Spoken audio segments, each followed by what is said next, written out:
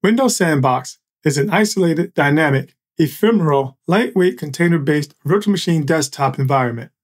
Since the sandbox is temporary and non persistent, once it is closed, all installed applications, files, and settings are permanently deleted.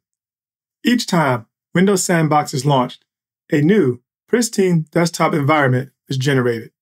And the ephemeral nature of the Windows Sandbox makes it a perfect, safe environment to test unknown and possibly dangerous software and investigate questionable websites.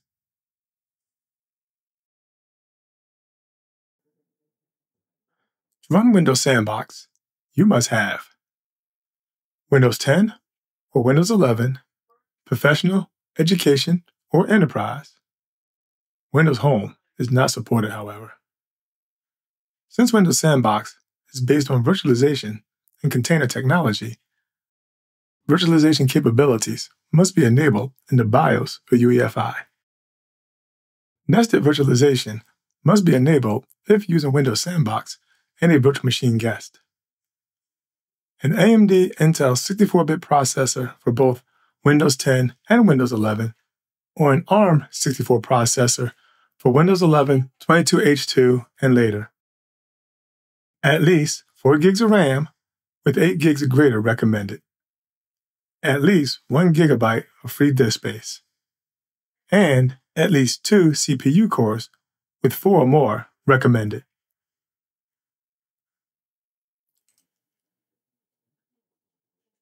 To enable Windows Sandbox, click Start and type Turn Windows Features on or off to open the Windows Features dialog box. Scroll down and check the Windows Sandbox checkbox and click OK. Restart when prompted. To enable Windows Sandbox using PowerShell, open an administrative PowerShell session or terminal and run the Enable Windows Optional Feature commandlet. Hit Y or Enter to restart when prompted.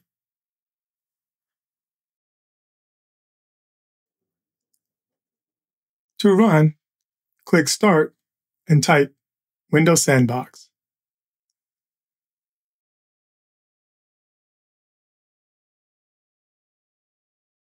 To run from a PowerShell session or terminal, type Windows Sandbox.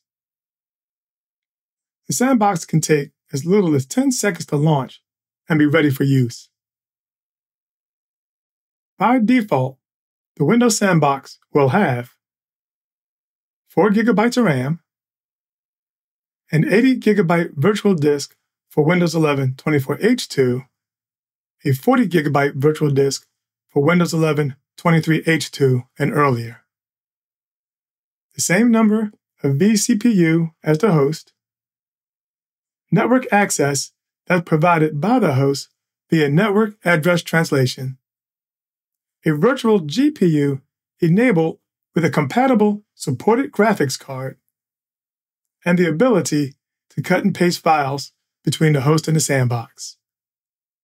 The Windows Sandbox will always be Windows Enterprise regardless of the host. You can resize the sandbox window or run it in full screen. You can restart the Windows Sandbox from within, and the state, settings, and files will remain intact. However, the sandbox is destroyed and discarded once you close the sandbox by either signing out the user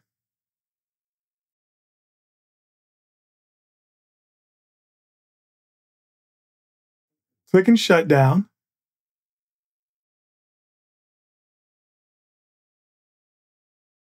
Clicking Disconnect. Closing the sandbox window. By logging out the host computer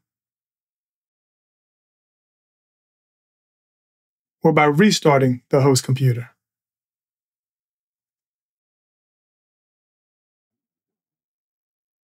Some aspects of Windows Sandbox can be customized using a simple XML based configuration file with a WSB file extension. The configuration file allows the user to control the following aspects of Windows Sandbox. The highlighted settings are enabled by default.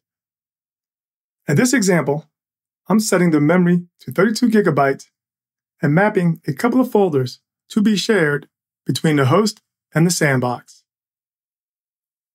To run Windows Sandbox using a configuration file, just execute the .wsb file. We can verify some of our settings, such as memory, via Task Manager within the sandbox.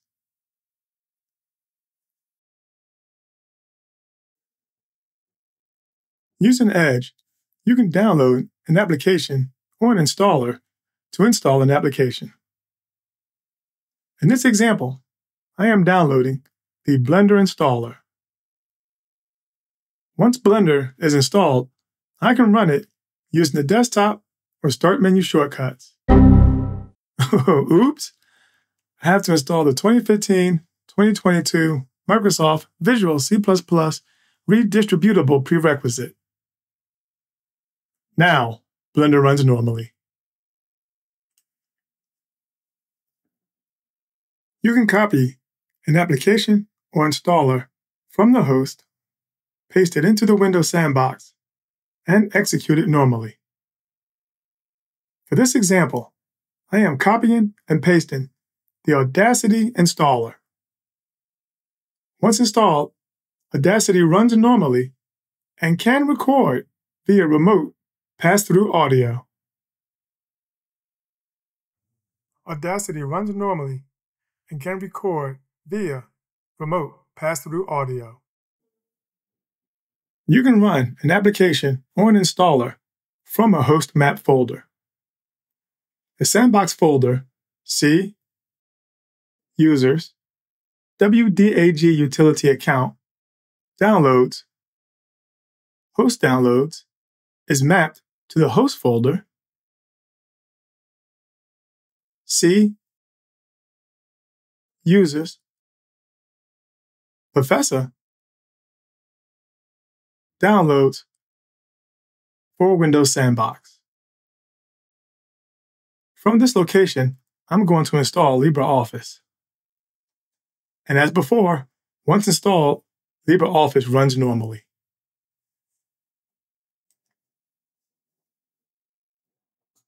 Not unexpected, there are some limitations to the Windows Sandbox. You can only run one instance of the Windows Sandbox at any one time. Currently, it cannot run any of the applications provided by the Windows Store, such as Calculator or Mail. Go figure. Since there's a single user named WDAG utility account that has full administrative rights, it can be difficult, but not impossible, to test scenarios with a standard account or trying to test multiple user scenarios. Windows optional features cannot be installed. Therefore, legacy applications that require .NET 3.51 or earlier will not install or run. Some applications will not properly install. Some applications will successfully install but will not run. If you lock the sandbox, the screen goes black, effectively breaking the sandbox and requiring it to be closed, resulting in that instance's destruction. As mentioned earlier, once a sandbox is closed, its state, settings, and files are permanently discarded.